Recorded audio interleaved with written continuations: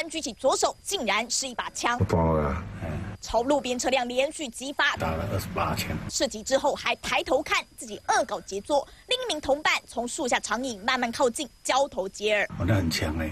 冒烟，一度举枪瞄准车头，接下来两个人疑似发现什么，靠近镜头，看到那个摄影机了，锁定目标，要毁掉行车记录器，捅破玻璃，碎屑喷下来，脚踹不破，还用枪托猛砸，车停路边，竟然被当成标靶。比较远距离打的，所以说那个弹孔就比较小。再往前走到前半部座位区，像这这两颗就是属于近距离打的，这个玻璃都裂了，啊，这个。